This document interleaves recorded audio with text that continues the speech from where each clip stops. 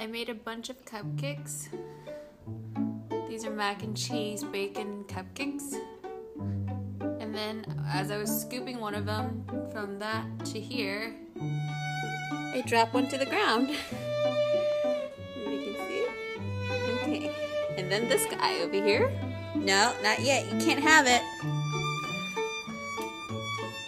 So this is the fallen mac and cheese uh, you like some?